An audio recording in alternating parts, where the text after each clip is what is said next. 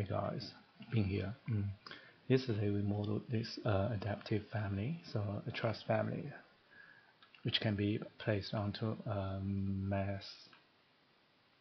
So here I have two different shape of mass. Those apply uh, with this truss family. So you can see, so the number of the web is the same.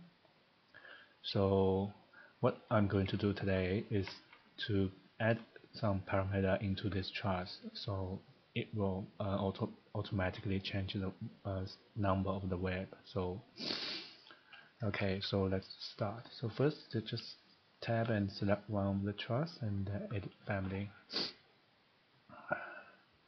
So uh, what I'm going to do is I'll first create a uh, reporting parameter. So I'll get the um, distance from point 1 to 5. Okay, so first select these two points, spline and uh, reference line. Now select these two points with this reference line and HI.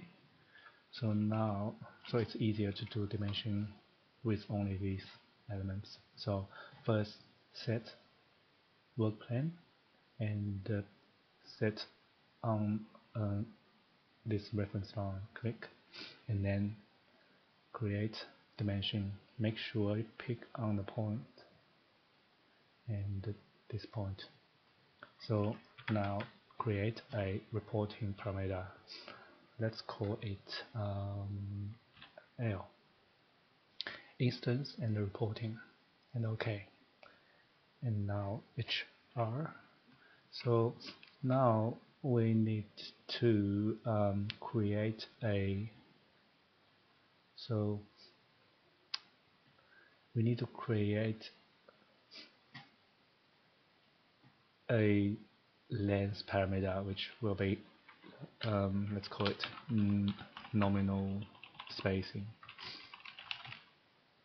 Instance and OK so we will use um, divide the L use this spacing uh, let's say 900 for example and then get this number. So L divided by nominal spacing. So this is number we, we're going to get. Apply okay so we need to change change this to change this to instance. Apply. Okay so now you can see the number changed.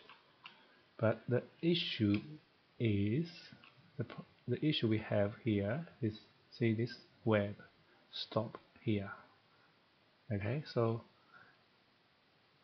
and uh, let me just for now just uh, get, uh, delete this formula for now.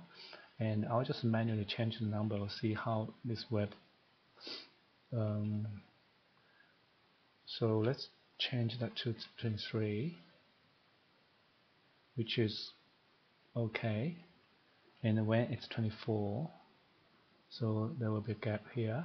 25 so gap on both sides 26 so gap here and 10, 27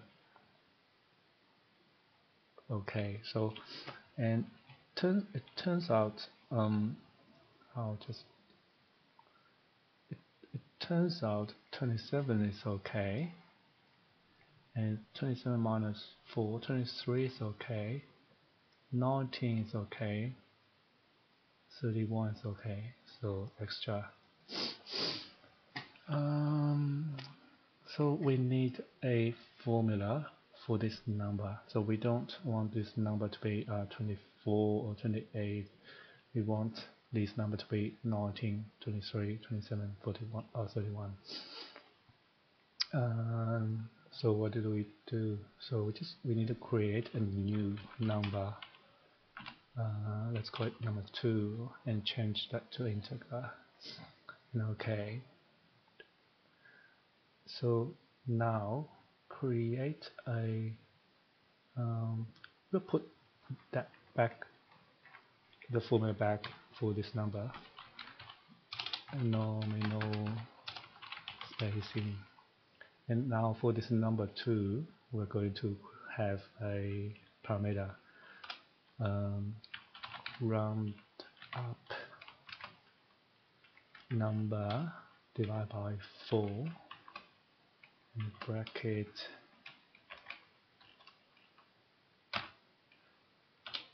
Times 4 and uh, let me see what that number is 24 but uh, we need 23 minus 1 okay so now if I change this let's see what happens. So I want change to 1 meter come 21 and this number 2 stays at 23 change to 1.1 meter. This number changes to 20 and the number 2 become 19 so which is just here.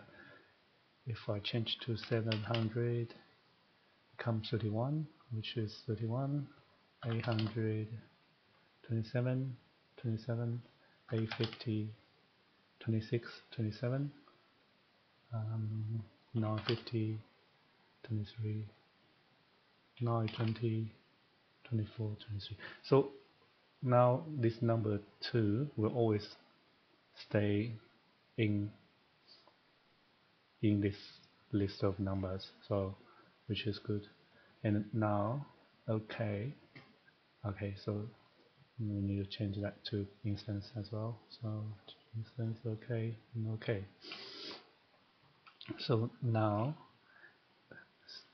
temporary height HH HH and HH select the divided path 1 2 and 3 and then change the parameter from number to number 2 and OK okay so now HR so now the truss or the web will automatically um, change change the number to suit the length from point 0.1 to 5 okay so another there's another parameter we have here so offset.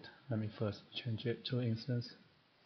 So offset it's a manual number we type in but uh, I don't want to worry about this. I want to use the reporting parameter as well. So select this point I'll use point 3 and 4 to decide the height of the truss. So select, select 3 4 and the reference line.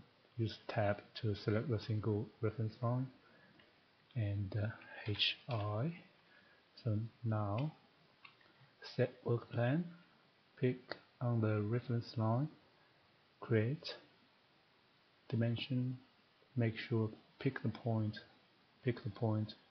So this will be the reporting parameter. So create a new reporting parameter. Let's call it just W. Instance reporting OK and then HR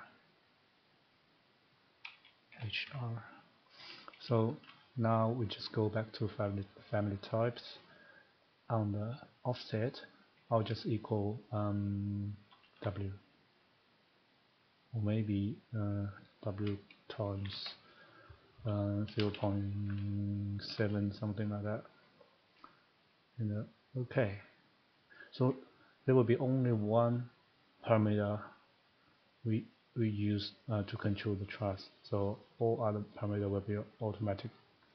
Okay. So now let's let's let's load this uh, truss into the into my thing, and it will, this will take a little bit time. Okay, this is the final result. So as you can see on both sides, the web spacing is the same, but on the right side, that will be a more a number of the web on the truss.